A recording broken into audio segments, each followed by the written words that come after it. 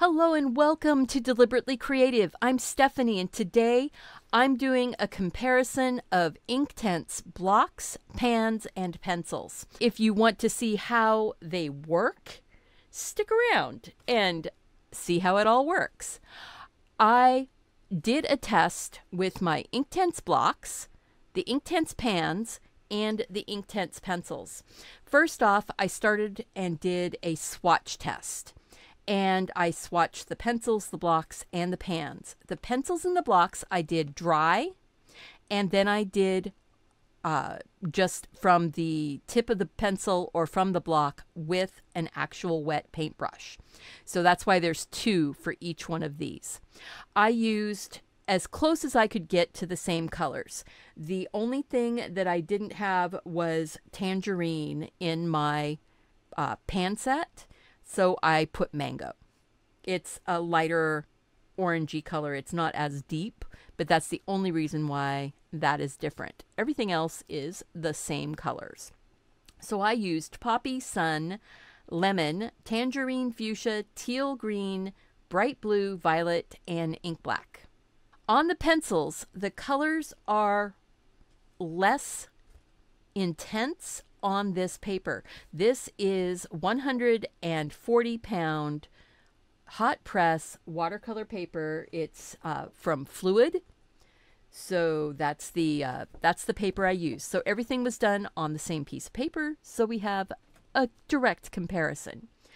The brightness of the colors, the depth of color, the le level of pigment in the pencils, it didn't seem to matter if I did it by coloring it down or picking it up from the brush. It's still very weak. I will show you on the fabric what happens though, because there's kind of a surprising thing that happens when you do this on fabric with the pencils. So hold on and I'll show you that in just a second. The blocks. This was coloring the blocks down, just picking it up and coloring straight onto the paper and getting it wet with a paintbrush.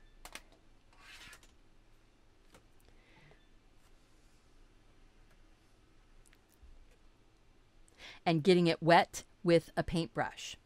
Then the next level down here was taking my paintbrush, getting it wet, and going right onto the block and then painting both ways, I get I got just about the same level of intensity of pigment and it's considerably more intense than the pencils. Although I do notice on a couple of these where I colored, it didn't dissolve as much. So you you can still get some of the if you like seeing the marks be retained, after it's dissolved, you can press hard enough with the uh, with the blocks to create that effect. But you can, with enough water, completely dissolve all of it. And then with the pans, I was able to get very lovely, intense color straight from the pan with very little water. So uh, that's my swatch sheet. Now on to the bag. What I did here is this does not have any preparation on the bag itself. I used a permanent marking pen and transferred the design using the DaVinci Eye AR app. So I was able to just, I drew it up on my iPad and then I was able to transfer it much bigger onto the bag. What I did is I did two petals and a leaf. Two petals and the leaves, two petals and the leaves. One was done with the pencils, one set was done with the blocks, and one set was done with the pans. I colored in the leaves first, doing layering of all of the colors, dry. Then I wet the colors down.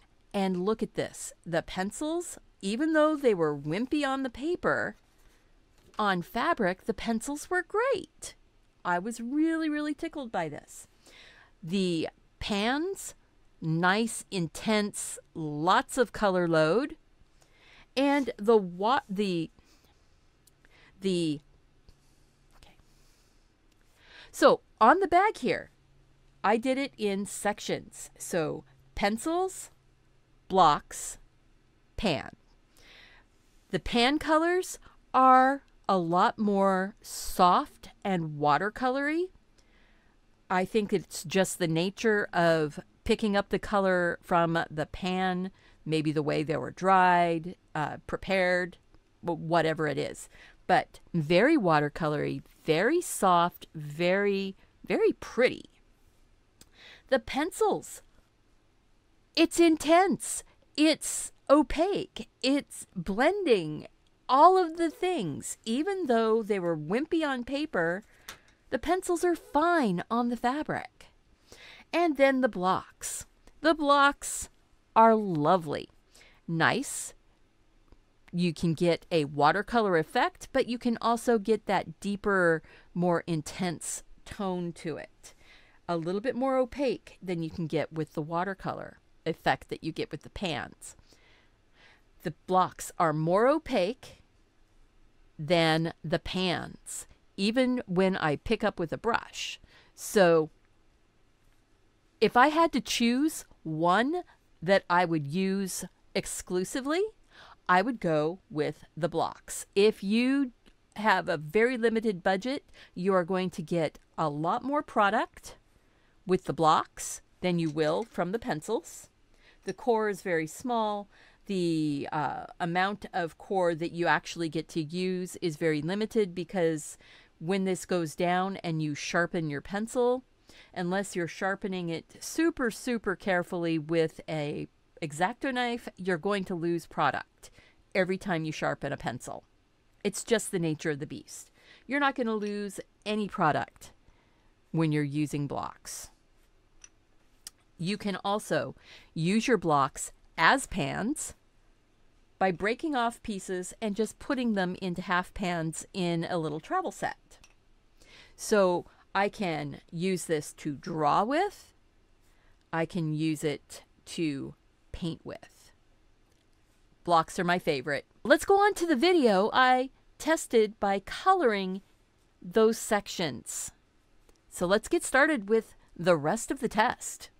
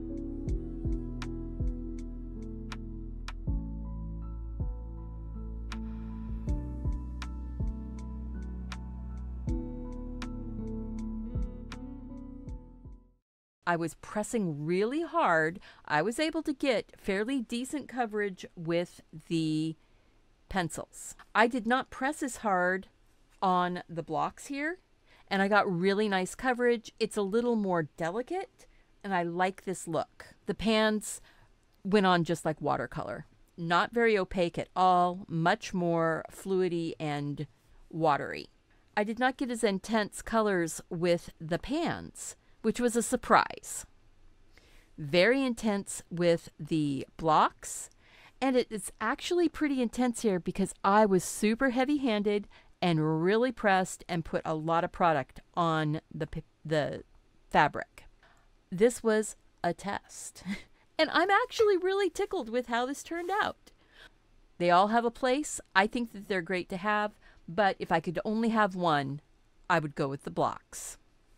Thank you so much for being here. I hope you enjoyed this. If you did, please remember to click that like button, subscribe to the channel, share the video with your friends, and remember to go out, do something creative, take care of yourself so you can take care of those around you.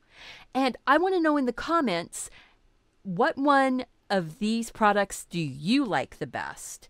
from this comparison or from your own ideas? Let me know in the comments below. We'll see you back here again really soon. Bye bye.